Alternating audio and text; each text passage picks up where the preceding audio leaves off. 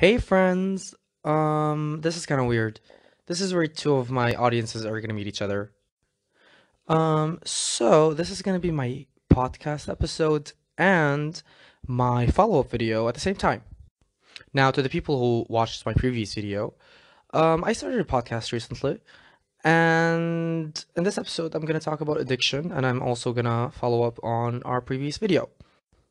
And to the people who listen to my podcast, namely nobody, Jesus. um, yeah, I used to struggle with addiction, uh, mainly cannabis and well, smoking normal cigarettes as well, overeating, a little bit of gambling, but mostly cannabis, and it was really, really, really, really hard to get over. It was so so hard, and now I'm 23 months sober from it, and I am gonna talk about that ride. I'm gonna talk about what happened because it is not easy. It's not like when you quit cannabis, when you quit weed, it is not something easy. No, you're thinking like, oh, it's easy. It's just like, oh, you have to fight the cravings. No, there's a lot of physical symptoms and mental symptoms that come that you think you're gonna have a heart attack, and I'm gonna be talking about this today. Okay, so let's start. Let's go back to the beginning when I was having my well everything. Well, let's start. Wait, I was gonna start when I quit weed. We should go a little before that. Alright. So, um, I started smoking weed four years ago or something, and then I started like I started smoking it every day for two years, maybe something like that. Uh, at the beginning, it was like all fun and games, but then I was like, huh, I can't get through the day without one, without a joint, without two, without three, you know? I wanted to say, like, no, no, it's okay, it's only on the weekends, and then, oh no, it's fine, it's only at night, and then I was like in the morning drinking coffee, and uh, which reminds me, wait, where's my coffee? All right, there we go. Yeah, oh yeah, that's the stuff. Yeah, drinking coffee and smoking a joint. And then I was like super satisfied with my life until everything started being too much. So, and I'm gonna explain to you what happened. Any minor inconvenience, I would go crazy. I can't, I can't do anything. That's it. Like, any minor inconvenience, my depression and anxiety just were skyrocketing. I didn't even know what anxiety was back then. Or, well, I knew what depression was. I just thought it was like super, like, oh, being sad. I didn't know depression was actually a thing. I didn't know anything about mental health, actually.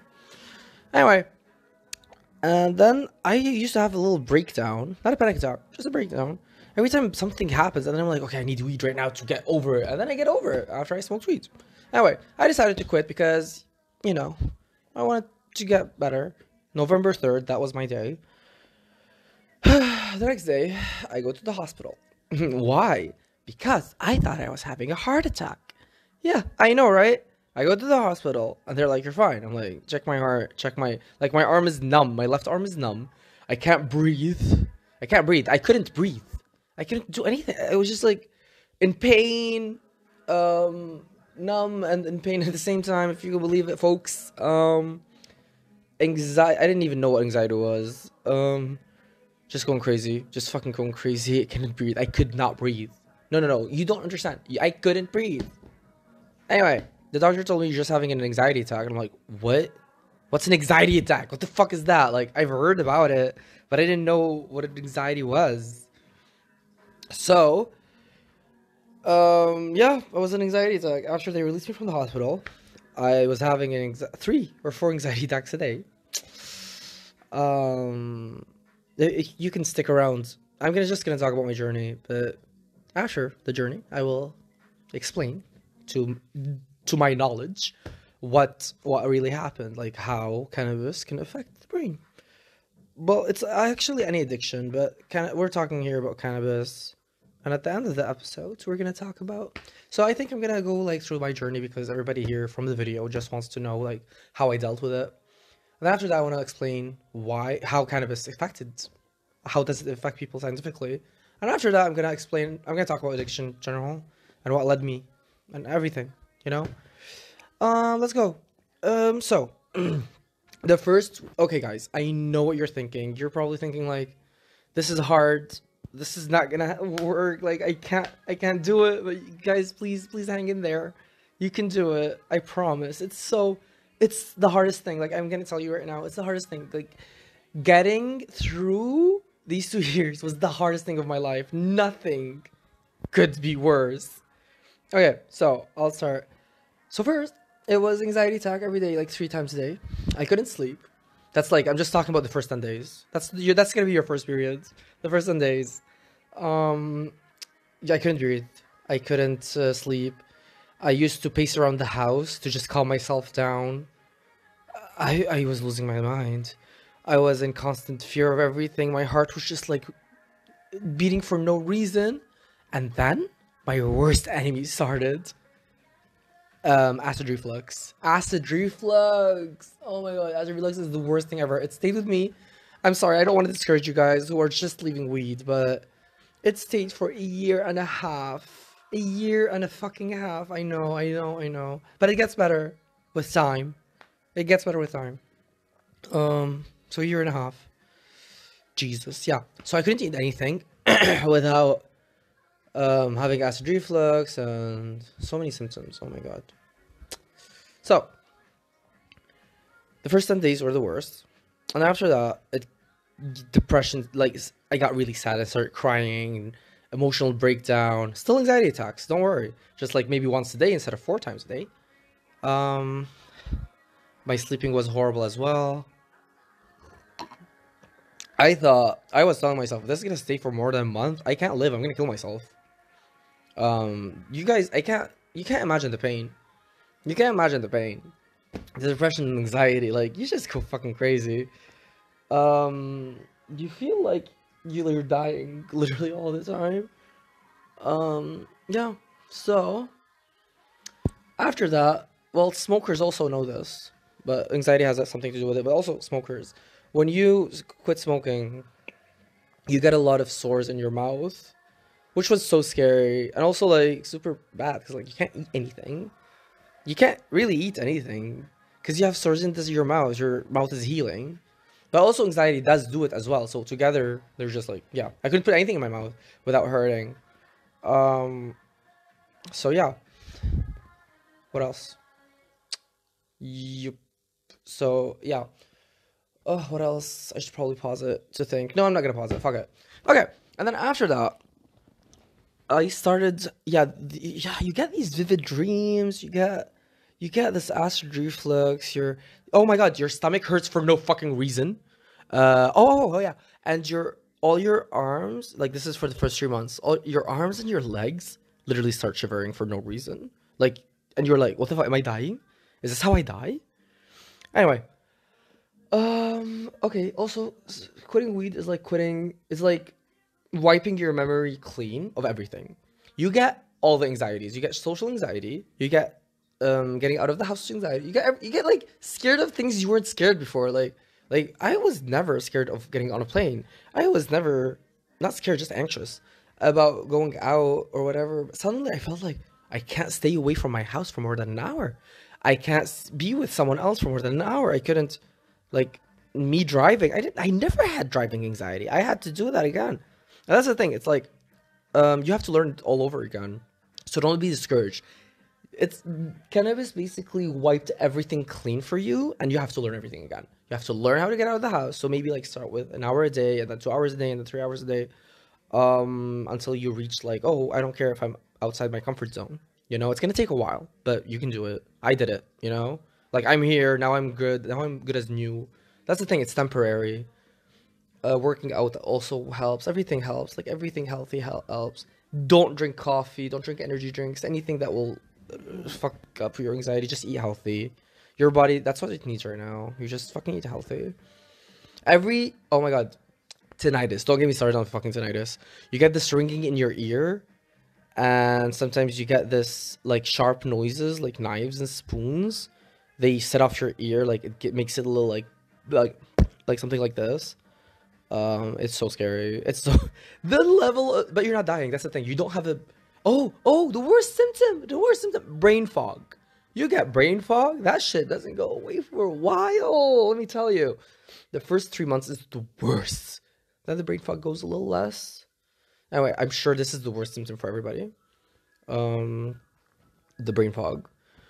So to people who don't know what brain fog is, it's uh, when you feel like you're drunk or high, but without the good feeling. You know when you're drunk, like you feel tipsy or whatever, or you're high and you feel tipsy or whatever, you're not, you can't think, you can't focus, you can't concentrate.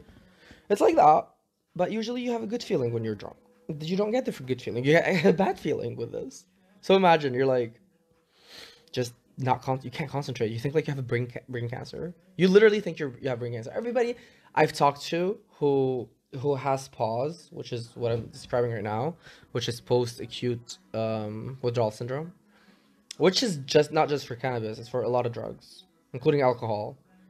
Um, it's very yeah yeah PAWS. It's called PAWS. Look it up. Post acute withdrawal syndrome. Um, brain fog is the worst.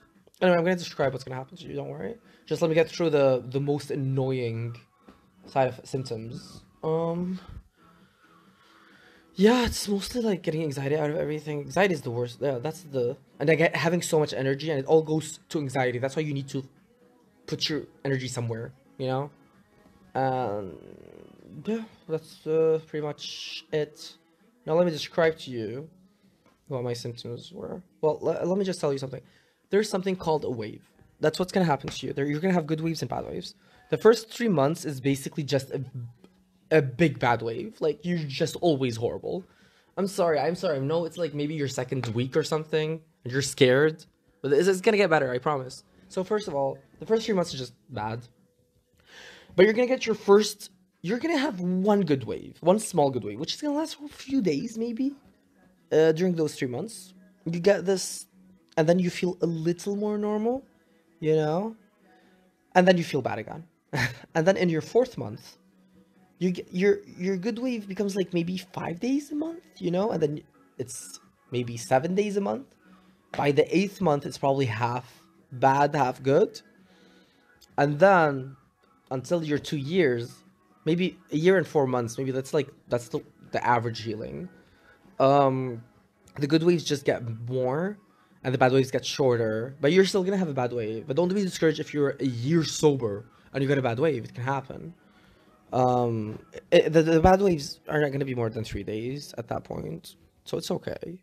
A bad wave is like literally when you when all your symptoms come back. That's it. It's just recalibrating. Your brain is just recalibrating. That's it. That's it. That's all. Don't be scared. It means you're healing. Every bad wave you get is healing. If you feel bad right now, it means it's healing. Okay? And when you get a good wave, that's the result of the healing, okay? But trust me, every time after your bad wave is over, your brain is just just upgraded. It just upgraded, it just got better. It's recalibrating. The brain is like, "Oh wait, let me um let me get new chemicals, let me recalibrate because oh, ugh, let me see like usually when I feel this bad, I'm getting weed, but I'm not getting weed. So I need to work. I need to get my own chemicals. And then the bad wave is over, and then you get the good chemicals. That means the brain did its job. And then the next bad wave is like, oh, my supply is low again, you know, and it gets more supply each time. Um, I'm gonna explain that later, whatever. Um, what else? What else? What else? What else? What else? Yeah, that's it. Not no, that's not it. it's not over. My worst, worst, worst thing was um, acid reflux. That lasted a year and a half um, because your gut, your yeah. Well, I'm gonna explain it later. But uh, basically, I felt like I couldn't breathe. I felt like I was always burping. Like air was stuck inside of me. Um, I thought I was having an, like an asthma attack. It was horrible. Even after a year and four months, I couldn't eat anything. I mean, I could eat some stuff, but like anything that was harder, I would. Also, I would start having anxiety attacks after I eat food because it's like too heavy on my food. So I so I started eating vegetarian. It helped a little bit. Now I can eat meat again, but really take care of your stomach. Your stomach is your second brain, and you need to fucking take care of it. If you have any questions, please like ask me. It's fine. Um, please, please ask me. Like, cause oh, and the best thing you can do right now, the best thing you can you can do to help yourself, is talking about it. You have to talk about it. Go to therapy, or talk to other people who've been through it because I know I couldn't have done it without all the people that helped me and told me it was normal. Because that's the thing when you when you go through it and you have nobody, you think you're going crazy. That's what you you fucking think you're going crazy. It's not. Whatever. Um. Now I'm a, one year and eleven months. In one month, which is November the third, two thousand and twenty-one, I'm gonna have my two-year sober anniversary from cannabis. So I'm really, really really excited about that. Um, it takes almost two years to for your brain to recalibrate from cannabis use, from chronic cannabis use, like because if you use it like once a month, like nothing happens. Um, but if you use it every day, like I did, then anyway, you have anxiety and de- you have anxiety and depression. Like you have a that's a spectrum. Some people have chronic, whatever, but it's a spectrum. When you use cannabis every day, you supply, you supply your um, endocannabinoid system with cannabis, uh, with cannabinoids actually, with endocannabinoids, and um, then your brain stops producing it. That's what happens. It stops producing it. So on its own, it gets used to it. So, um, so when you stop your weed suddenly, your brain doesn't know what to do. So anything can set off your anxiety. Anything can set off your your depression. You don't. You can't. Your brain needs to do it. It needs to um, needs to fight the anxiety and depression. I can't anymore. It forgot how how to because it's been so long that it's that you've been depending on weed. I'm sorry, but yeah, you gotta you gotta go with it. You gotta like get through it. And the worst thing you can do is relapse. It's okay you relapse, but please just throw away. Maybe you have some weed or you're thinking about relapsing or whatever. Like, oh, I can't take this anymore. I really need weed. I can't take this anymore. No, no, you can do it. This is a disease. Addiction is a fucking disease, and you need to get through it. I'm not preaching like, oh, you need Jesus, whatever. I don't believe in the super. Well, I don't believe in like, oh, religion is my higher power. Like, no, no, you're your own higher power. Just you can do it. I promise you, you can do it. I did it. Um, it's gonna be hard, but you can do it. Anyway, um, what else? Okay, yeah, the second thing I really want to talk about is your gut, your stomach. Your gut and your brain are so connected. Your gut is actually your second brain because we evolved from it used to be an actual brain, but that, now it's like it, there's still a lot of hormones inside of it and neurotransmitters, and your brain and your gut are so connected. So when your brain is anxious, your gut is anxious. When your gut is anxious, your stomach doesn't function well. It become you, you get uh, acid reflux, for example, which gives you more anxiety. Which it's a cycle. Then you get more uh, acid reflux. Like it's all connected. So treat your stomach well. Treat your fucking stomach well, so your brain can be treated well, and treat your brain well, so your stomach can be well. Just fucking treat them. It's just two years. It's just two years. Hell, it's just one year. Hell, it's just three months. Three months is the hardest, and then that's like the hardest, hardest. And after three months, it becomes medium, and the last year is kind of easier, and then you're good. Just do good by yourself. You did this yourself, you know? Just fix your mistakes. Nobody's gonna fix it for you. Trust me. Nobody's gonna fucking fix it to you for you. And when I tell you, when I fucking tell you that all your friends that smoke weed are all gonna be like, ugh, what are you why are you doing this? They're gonna leave you. And if you tell them that I'm trying to fix my life and I'm trying to like quit my addiction, they're gonna be like, no, weed is good for you. I promise you they're gonna do that. And yeah, they're gonna do that. They're gonna tell you your weed is good for you. And I'm not addicted. I can quit whenever I want. You can I cannot. It's an addiction. Just because it doesn't have uh addicting um addicting uh, material like nicotine or whatever doesn't mean it's not addictive.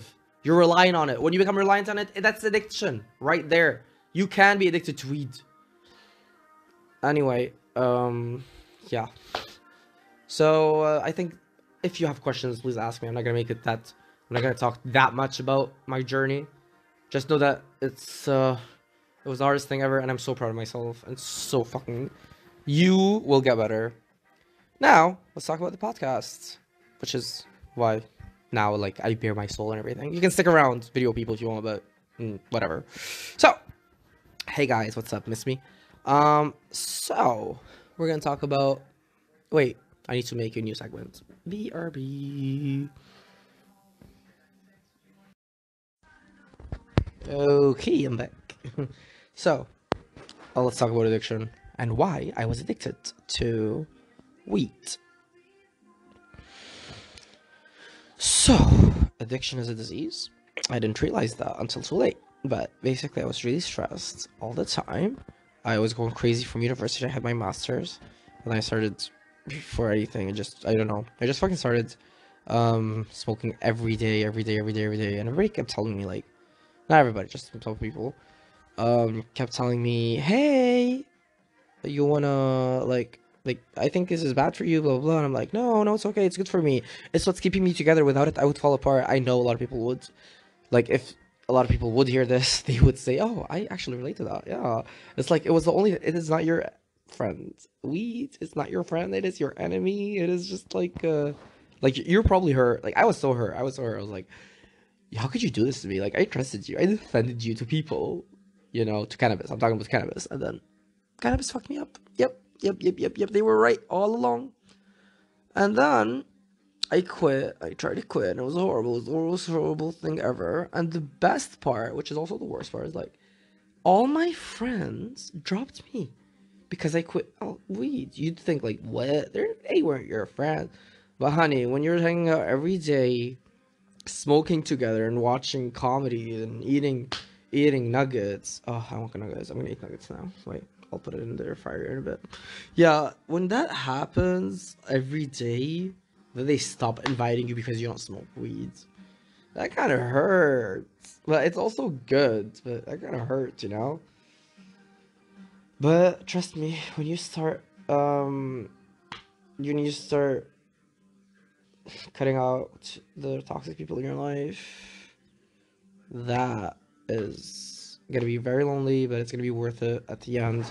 You just need to have boundaries and self-respect and whatever. I'm really, I realized a lot of stuff lately that, not lately, like in the beginning, but now I think, yeah, addiction comes in many forms whether it's weed, shopping, um, anything really, um, gambling, overeating, it all comes from somewhere. Like, usually it's like running away from responsibilities or running away from stuff that you need to deal with. I guess then it was my master's, but also like, I was really insecure. I was really, really insecure. I I'm still a little insecure. Like, I'm way, I have way higher self esteem, but I'm still a little insecure. But back then I was I was like, okay, weed can take it away. Weed can make me satisfied. Um, eating, overeating is also gonna make me happy. Um, yeah. And now I have to, get my shit together. Well, I did get my shit together, more or less. But anyway, nobody was there for me. But, um, there was a TV show that helped me through it. I know this episode is not funny, and I don't know if you're listening or not, but this is just like a let's be vulnerable moment. A show called Mom on CBS, um, starring Anna Faris, the fucking legendary funny queen Anna Faris, and Allison Janney. Um, they were so funny. It's about uh, women in recovery. Well, so they're all ex addicts and alcoholics, and now they're recovering. But they make fun of their problems, and that's where, that's what inspired me to keep going. Actually, I wanna, I wanna, I, I want you to listen to something. Wait, one second. Okay, this is the part. I listened to this part. I was watched this part actually, and it truly helped me. Like it, it made me stop. It made me know that I had a disease, because it was so fucking true. Wait, listen. Okay, guys. I used to jump through hoops to justify in my mind why I could keep drinking. I thought, I haven't been drunk in front of my son. I haven't lost my job. I haven't wound up in jail. So it's not so bad. I don't need to stop. What I didn't realize then was that I should be adding yet to the end of all those sentences. I haven't lost my job yet. I haven't been to jail yet. I started doing things that I swore I'd never do. Things started happening that I swore would never happen because of my drinking. But instead of changing my ways, I did what any good alcoholic would do. I just kept lowering the bar. Finally, couldn't get any lower. When I got to these rooms, my family wouldn't talk to me. I had no friends. I had no job. I was homeless. and living in a box. And I had roommates. to the newcomers, your story may not look like mine, but if you're here, I would venture a guess that things probably aren't going so well. And I want you to know this program works, and your bottom is whenever you stop digging.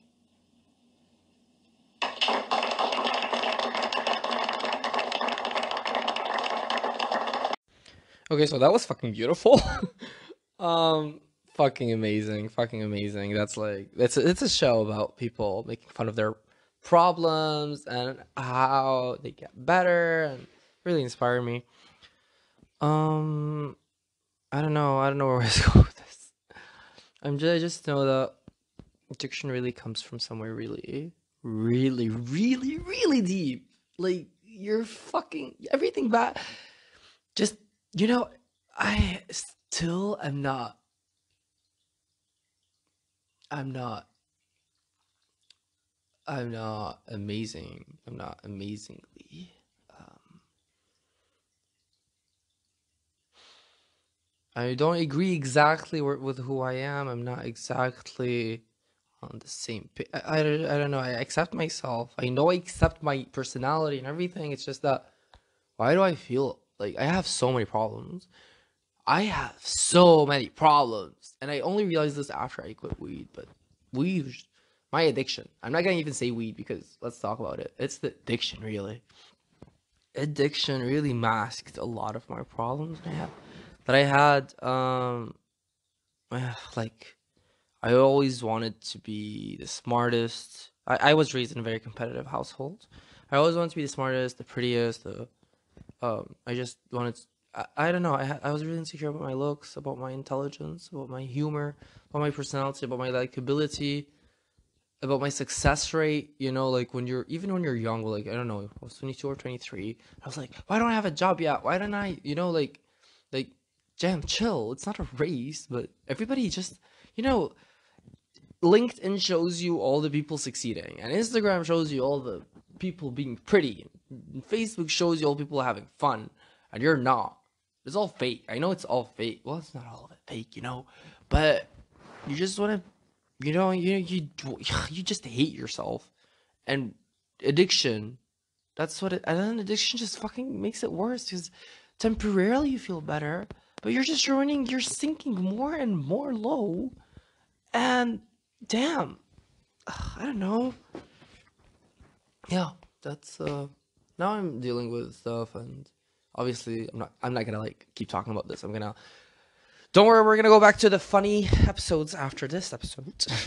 but um yeah, I wasn't really I wasn't my I don't know. I don't know. I have a lot of problems. My god. Um well, uh, I I'm working through it. I'm working through it. We're going to talk about them later. We're going to talk about them. We're not just going to talk about my problems. I'm just to talk about in general about traumas and stuff and yeah, I feel like this is a this is a you know what? So after Nandor, you're gonna do you did it. You got through the fucking hardest thing in your life. The hardest thing in your life. So you should be proud. And I know you're crying in your bed right now. And I know it's horrible what happened. But you can do it. You did this. You did this a horrible thing for two years. You can do this too. It's temporary. Just like your addiction. Your, I mean, you're recovered now. Your addiction, addiction's forever. But your recovery, just like your recovery.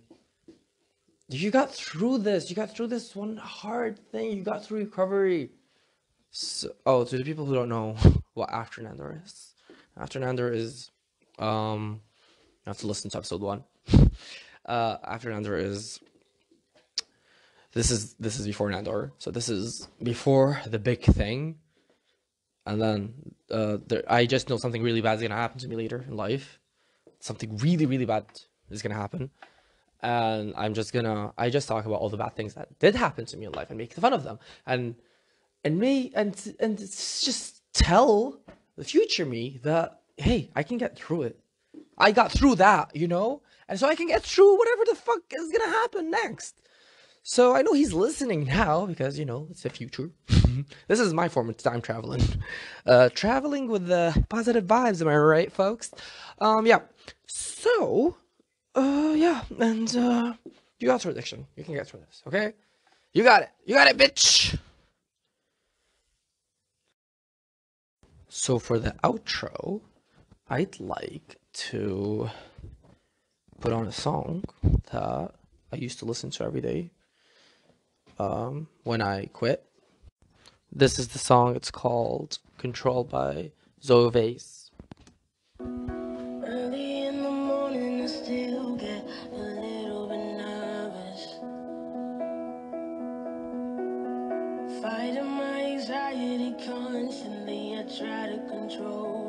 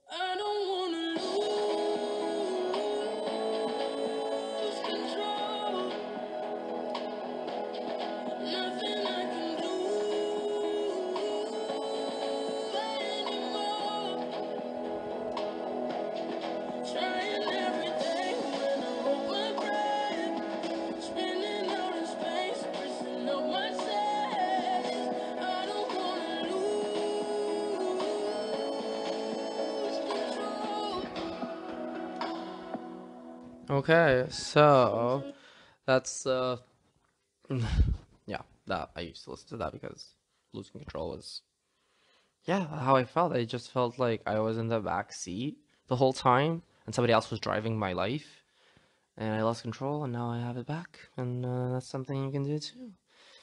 So till the next time, and I promise because I made this one sad, I'm gonna make the next episode really, really funny. Okay, bye.